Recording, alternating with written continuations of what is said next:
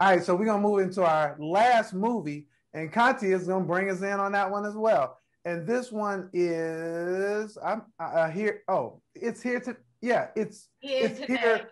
It's here today. Today. Here, here today. Tell us about this one, Katya. This movie starts uh, stars Billy Crystal, who I love, and Tiffany Haddish, and they have a very peculiar uh, friendship. And the way that they meet is so odd, where she kind of indirectly won a lunch with him.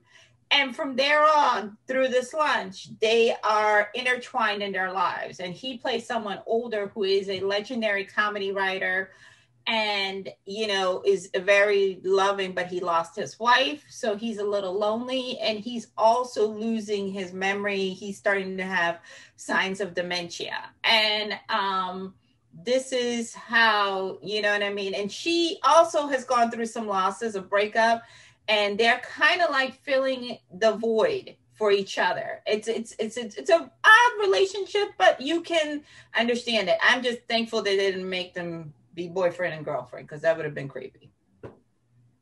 I'm just saying. Right. So you just gave away some, but that's all right. Uh, so so eh, there's a lot to like here, and there's a lot to say. Ugh, I wish is that the beginning of the film didn't seem like Tiffany fit there because she was so over the top, and it was just a little bit too much, and it's and, and so much so that I was like, I guess I'm not gonna like this film. But because they're doing a couple of things here, they're talking about dementia, they're looking at the dysfunctional family, and they're also looking at friendship.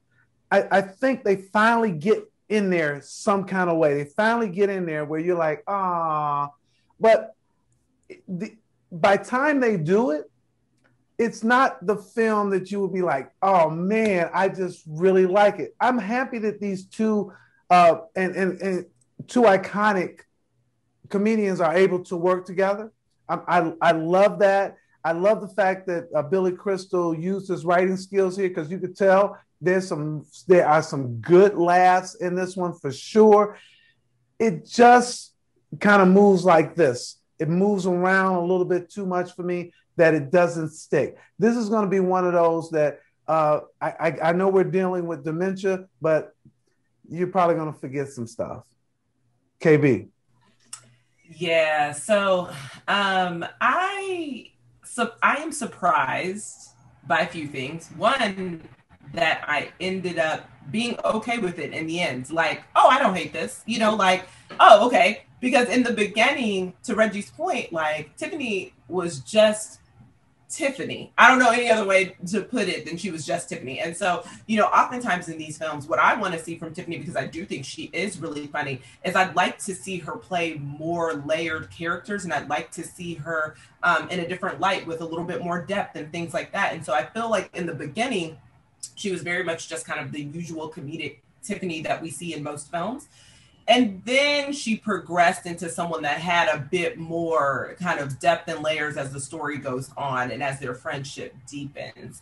Um, but yeah, it was, you know, it reminded me at times of the holiday in the sense of you Mm. have this younger woman and this older man who develop this friendship. Um, and you know, this younger woman is trying to help this older man in in multitude of capacities. And so Tiffany really is that person for him. She really is just his friend. She doesn't want anything. Obviously, that's a point of contention for his family and his friends because they're like, what is this young black girl doing with this old white man? Like, she must be trying to take his money. That's basically what it's alluded to. Um, and she's like, nah, like, he needs help. He doesn't trust anyone else. So, you know, I might as well be there for him. So his story unfolds in interesting ways. And um, I just, I kind of wish there was a bit more depth to the relationship with his kids. Like I definitely feel like, you know, it it, it wasn't as meaningful in the end that it could have been because in the beginning we weren't really getting that much with the children. Um, but I adore Billy Crystal. Um, and I think that like to Reggie's point, there are some very hilarious moments that you can tell that he wrote in this. And I know he's a co-writer. I feel like there are two other people who have writing credits, but you can very much tell the iconic Billy Crystal moments in the film. I guess is the best way to put it. But yeah, I ended it and I didn't I didn't hate it. You know, like I really got to end and I was like, hmm. And I may have shed a tear or two because it is really sad. And there are layers to this film in terms of how we treat aging adults and how we treat people with dementia. Um, it's infuriating, but it's infuriating to me in real life and in this movie uh, because there is not a lot of grace for aging people. Um, and so I, I, just was like, oh my gosh. And especially when it pertained to his kids, I was like, oh, we gotta have grace for for people who are aging. And so um, yeah, it I, I like that. I, I, like that. So for me, uh, this is a mile watch it.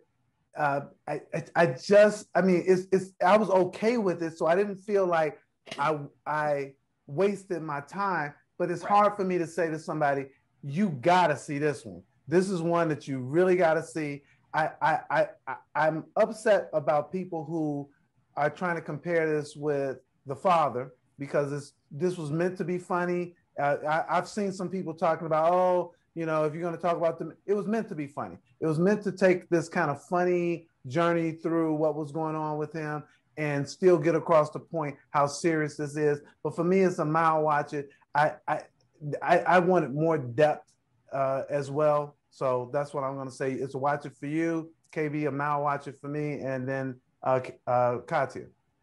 I agree with KB. The, the, the thing that was lacking in here is um, Tiffany has to work on her range. She has one note, you know, because Billy Crystal is so dynamic and he's such a veteran and he's so smooth that it was odd.